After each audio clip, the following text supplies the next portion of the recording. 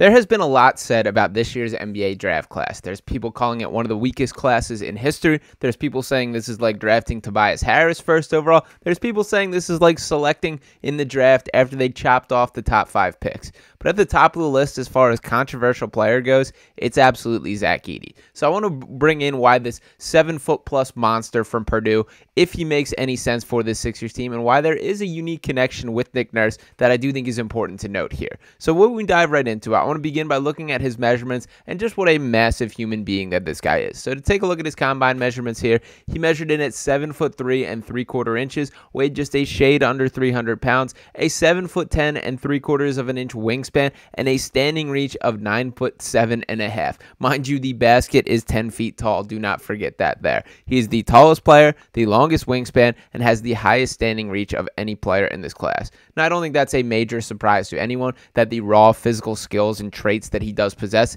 is the biggest reason why he is on the radar and as controversial as he is. And I will lead this conversation by saying that following last year, leading into the season, I thought there was no world in which Zach Edey could be an NBA player.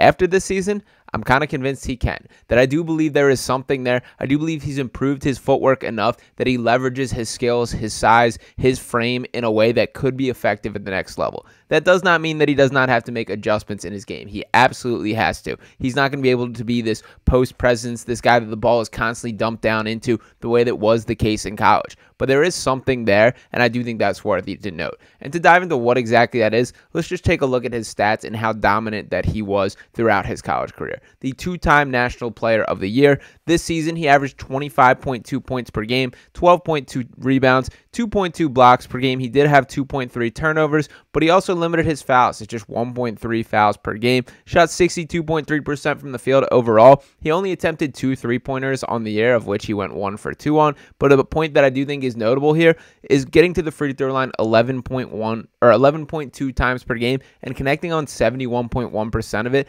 That is very notable there. That it is a skill for big men to be able to knock down free throws.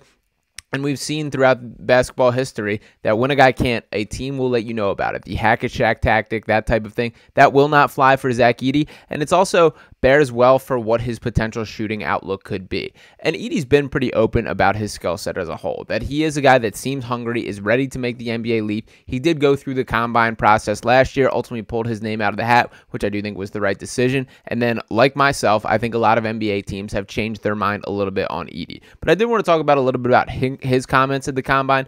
I loved what I heard from him. That when asking about some players that he models his game after, he mentioned that we could be like an Ivica Zubac type player, that type of category of big man, which I do think is a cool outlook to have, that he's willing to do whatever. And there are two specific quotes that I do want to pull up here. Number one, he was asked on making the transition from a star at Purdue to a potential role player. Edey says, every team needs someone to hold down the paint. You need someone to grab rebounds. You need someone to block shots. You need someone to finish lobs. You need someone to do those things. Not everything has to be me with the ball in my hands in a post up. I think I can do a lot of things. At Purdue, there were a lot of post ups, but if you really watch the game, it was a lot of ball screens. That's what you want at the NBA ball screens, hard cut actions, seals, repost. Like it's a, a lot of stuff playing off and off, off a ball screen. That's the NBA. Asked about how he's improved in the pick and roll, which I would say is probably the biggest concern in his game. Edey says, that was the one thing I heard. Just be a good screener. I think people undervalue, they don't realize how good it is just to wipe out whoever's guarding the ball. Screening hard, rolling hard, carving out my space. I think that's what I worked on all year, and that really helped my game. So some cool quotes there. And I will say, I think the defensive side of the pick and roll is probably the larger concern in his game. That that really, in today's NBA, essentially makes or break a backup center. That a guy, if they can hold up in pick and roll coverage, because you are going to get tested, that immediately when they do see that new new player checking into the game, they have you circled, they're calling a ball screen, and they're making you defend in some sort of 2v1 setting.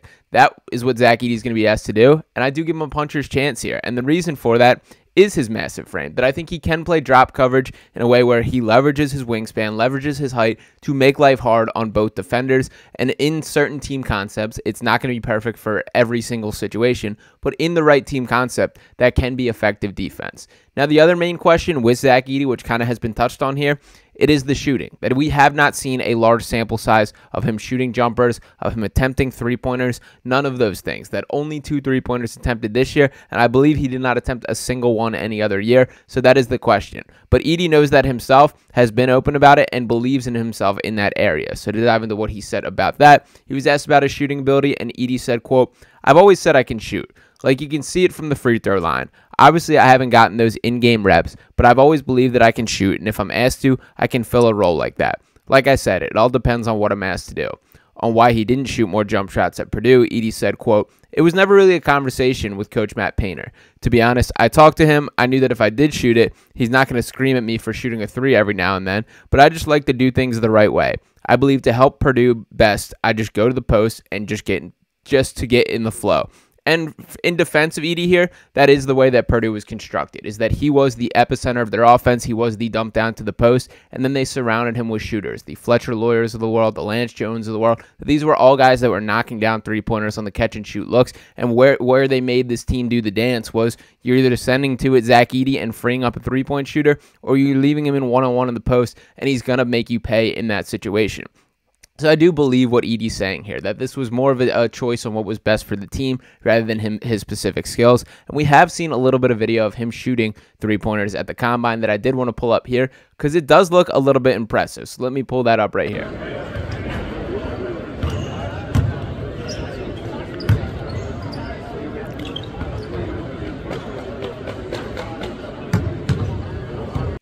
Now, I know you can't read a ton from standstill shooting drills that you take the worst player in the NBA and they're still going to shoot every average person out of the gym by a major margin. I mean, it, if you want proof of that, just go watch an NBA warm up and take the backup center off the bench. Take a look at Dewayne Dedmon or DeAndre Jordan going through shooting drills, and they're going to be knocking down just about everyone. I used to watch Georges Niang do warm ups before Sixers games, and he would literally go through a complete shooting arc on the three point arc, would not miss a single shot. And while Georges Niang is obviously a very good shooter, in the context of things, that he's not the not above, above average NBA player. So I will say that just for frame of reference here. But the fact that we are seeing a little bit of evidence that Zach Edey can shoot the ball, that there does feel to be a little bit of touch there, that is really just great to see. That that does paint an optimistic lens.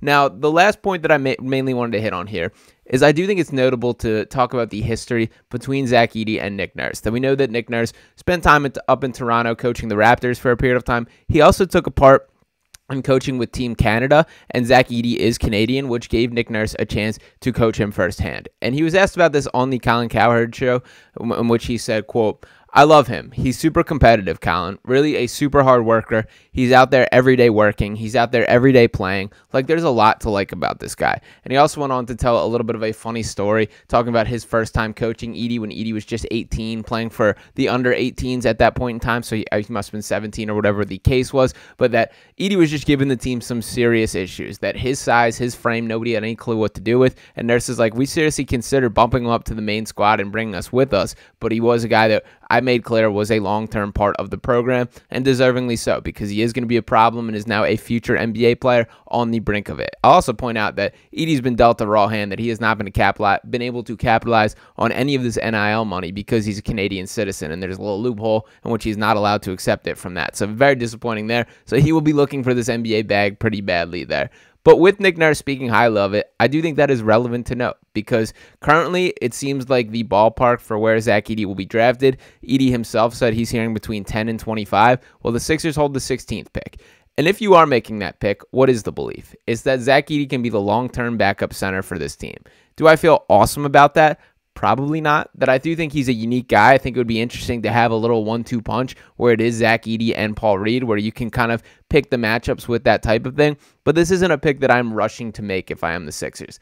I do think Zach Edey is too big to fail. I think that he ultimately finds his stride in the NBA, finds a, lane in which he can run in. I don't think we're ever looking at talking about Zach Edey as an all star, talking about Zach Edey as maybe even a starting level center. But I do think that there's too much talent there. There's too much size. And it does seem like a guy that wants it far more than he's given credit. That I think he has an NBA head on his shoulder in which he's willing to work hard. He's willing to accept whatever his role is necessary. So I will be rooting for the guy. I think there's a much more negative outlook for Zach Edey than deserves to be the case, but that does not mean that I am pounding my fist and, and screaming to see him in a Sixers uniform. Frankly, I think this pick is better served on a guy like Devin Carter or even Kel'el Ware or a couple other guys that I will be breaking down on this channel. Devin Carter remains at the top of my list there, or just flipping this pick for an Alex Caruso or a, a guy that can help right now on the Sixers team. That to me feels like a better use of asset. But if the Sixers do go this direction, I will think that Nick Nurse played a role in that. So we'll be interesting to see what here. Let me know what you guys think in the comments.